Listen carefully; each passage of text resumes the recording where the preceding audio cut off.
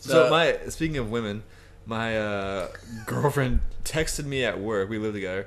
Texted me at work, um, worried about the fact that she might have left her curling iron on.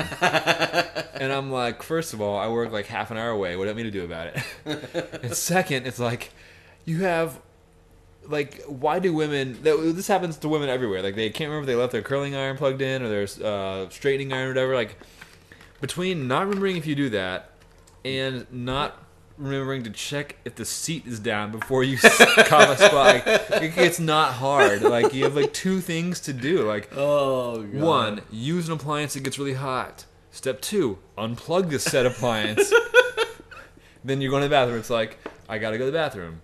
What do I do? I make sure that the seat is down. Like it's not hard. No, they blindly run it. Yeah, if I have explosive diarrhea, I don't blindly just run in and shit Yeah. all over the floor. But like, who the hell didn't open the seat for me? Ah. That's a good point. Yeah. Even when you have like explosive diarrhea, like you just had Chipotle, and you are you're like running in, you still make sure the seat's down. Yeah, you almost trip because you're unbuttoning your pants so fast, and you Yeah. get there, and then you take the five seconds, the grueling five, five seconds. No, five seconds or like five milliseconds. Well, yeah, yeah. To, to you got to check, you make sure, and then you lift the seat up. The whole time your stomach's exploding Yeah. with cramps. and it's like about to shoot out. Yeah, and then and then you might accidentally grab it, and you're like, no, I can't sit. I need to sit on the actual seat, and then you sit down, and boom, you blow it up. But yeah, even in, even in an emergency situation, I still stop and check, and it can't be that hard.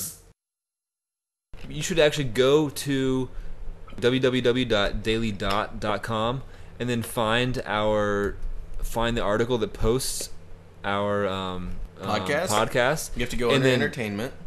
under entertainment, find that, and then comment under the story, and then we'll go back from the next podcast and we'll read the comments that were under the story. Oh, that's a good Or idea. under under the um, the podcast. So if you have comments, constructive or non-constructive criticism, if you want to call us um, bad words, we're fine with that too. dick bags. And then uh, yeah, and then we'll go over that. So that's a good way to ask your questions. We'll answer them. Um, let us know what you don't like, what you do like. Share with a friend. Like it on Facebook. Whatever. There's a little search bar. Type in podcast. The search bar is uh, usually like a magnifying glass. AOL keyword podcast. That's right.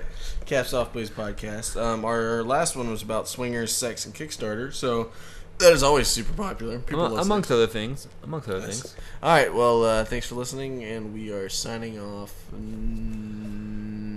now.